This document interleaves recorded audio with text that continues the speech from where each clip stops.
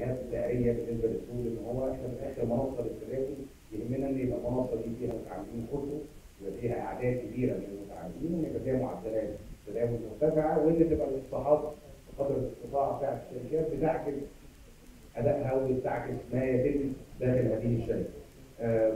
عايز بس أحط محورين في الأول كده نتفق عليهم وبعدين أتكلم معاكم إيه اللي تم على مدار العام المنصرم كله فيما يتعلق بالإصلاحات اللي بنحاول نعملها وايه اللي هنحاول نعمله على مدار العام الجديد. لأن هو في الآخر آه، فكره إن المؤسسات وبالاخص المؤسسات المالية تفضل قاعدة في مكانها بدون ما يبقى عندها خطة إصلاح مستمرة. كل سنة كده بتحاول تجددها وبتحاول إنها تضغط على مستوى ال- الحاجات اللي هنتكلم عليها. أمر غير قابل للتحقيق في ظل إن إحنا بنتكلم على منافسة شديدة ما بين الأسواق اللي هنا في مصر والأسواق اللي في الدول العربية والأسواق اللي في الدول الأفريقية والأسواق اللي في الدول الأوروبية. فبالتالي عملية المنافسة محتاجة إن هي تبقى تخلينا دايما يعني زي ما بيتكلموا على على آه، منتبهين بصورة كبيرة على إيه هي الاصلاحات اللي إحنا بنفترض ننتهجها على مدار كل سنة كده يعني إيه ال- الاصلاحات اللي إحنا بنحاول ننتهجها. ال- اول بس محورين اللي هو نحاول نتفق عليها البورصات بتقيد بمعيارين رئيسيين، المعيار الأولاني وهو الأهم هي معدلات التداول لأن معدلات التداول. لما بتبقى مرتفعة معناها إن في ناس كتيرة بصت على الورقة المالية دي بصت على إصلاحات هذه الورقة المالية. سواء الورقة المالية دي سهم طلعته شركة سند طلعه آه، طلعته شركة أيضا أو أي جهة من الجهات اللي بتطلع سندات. فهذه الحالة لما معدلات التداول مرتفعة معناها إن أنا عندي مستثمرين كتير. بصوا على الاصحاب بتاعت الورقة المالية وبداوا يتعاملوا على هذه الورقة المالية فبالتالي سعر هذه الورقة المالية بيعكس في الآخر آراء ناس كثيرة دخلت في عملية التداول على هذه الورقة. إيه اهميه الموضوع ده؟ إن في الآخر ما تبقاش سعر الورقة المالية يبقى اثنين أو ثلاثة أو 10 أو 20 اللي حددوه، إحنا بنتكلم على أعداد كبيرة هي اللي حددت وكميات كبيرة لأن هو ما حدش هيستثمر كميات كبيرة إلا إذا كان عمل المجهود المطلوب منه فيما يتعلق بقرايه الاصحاب. المحور الأولاني هو زيادة معدلات التداول اللي بتقيم بيه البورصات، عشان كده حتى البورصات لما تيجي بترتب يعني آه، وسط اقرانها من ال- البورصات الأخرى أنا بتكلم بصفه عامه اي بورصة دايما بيقول لك ما هي معدلات التداول اليومي مقارنة بباقي البورصات فبتبتدي ترتب نفسك على المستوى الأفريقي على المستوى العربي على المستوى الأوروبي وما غير ذلك من ترتيبات.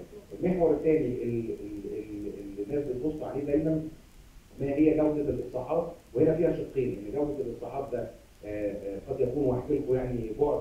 إحنا لقينا نفسنا إن إحنا أكثر تشددا من الكثير من الاسواق ال- الأوروبية. يعني إحنا جزء مهم جدا آه، دايما بنؤمن بيه إن في الآخر أي عملية إصلاح بتتم أو أي عملية تطوير بتتم هي في الآخر بتعتمد على العنصر البشري ما عندناش مجال ما يبقاش فيه العنصر البشري في مجال سوق الاوراق المالية مش متطور مش متحدث مش مطلع على أهم التعديلات اللي بتحدث على المنتجات المالية الجديدة وغيرها.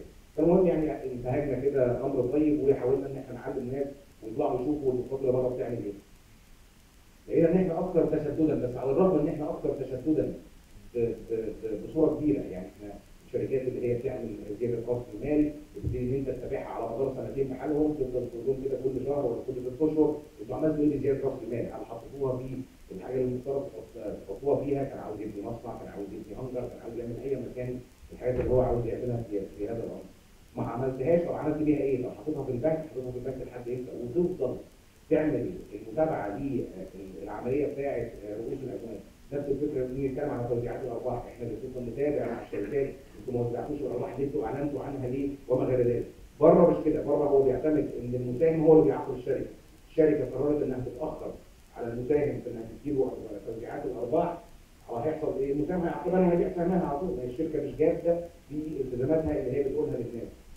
المساهم اللي بره لقى إن الشركة أعلنت إن هي تزود رأس مالها ولم تفعل كما تقول فيما يتعلق باستخدامات زيادة رأس المال هو المساهم اللي بيعاقبها على طول وبينزل يبيع سهمها. فبالتالي أكبر ضرر للشركة هو في الآخر آه، سهمها يتاثر نتيجة عدم آه، وجود إقبال على الورقه المالية نتيجة هي ممنوعه.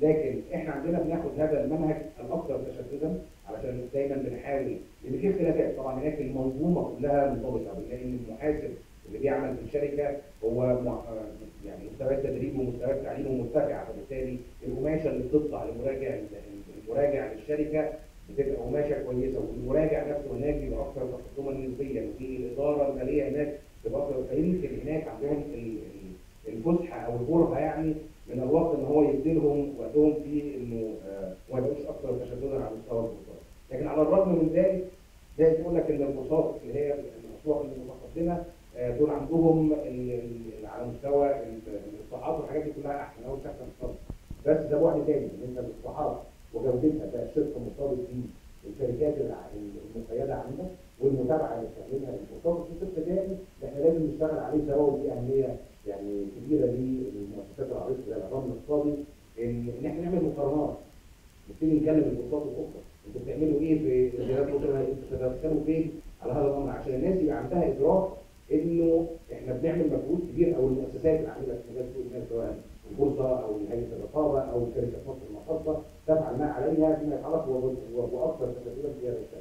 ثم دول المعيارين دايما اللي بتقيم عليها البورصات فيما يتعلق بترتيباتها.